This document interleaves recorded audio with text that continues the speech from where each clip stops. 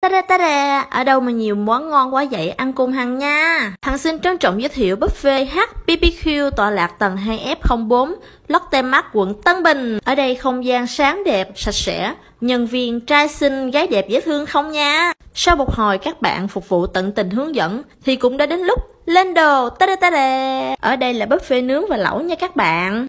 Wow, thơm quá à. Sáng ngày thường là 239k một người, còn thứ bảy chủ nhật và các ngày lễ là 259k nha. Còn trẻ em là 129k.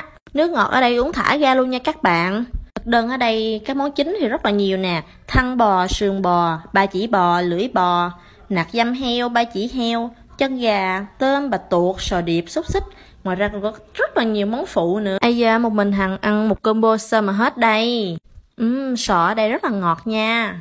Bà tuột ở đây rất là tươi, giòn và ngọt nhá. Đây đây, ăn thịt nướng là phải ăn như vậy mới đúng điệu nha các bạn. Đây là món phụ nè, khoai lang chiên, lắc phô mai, gà rán, chả cá chiên, rong biển cuộn chiên, vân vân và may may. Tiếp theo là lên lẩu thôi. Lẩu ở đây không quá ngọt cũng không quá chua, rất là vừa miệng của hàng. Rau củ thì topping gần cả chục loại luôn á. Ở đây còn được ăn kem ngũ vị thả ra luôn á các bạn nhỏ ơi. Nói chung Hằng thấy HBBQ khá là ổn áp, hợp với giá tiền. Các bạn nhớ đến ăn thử nha. Hằng ăn tiếp đây, bye bye.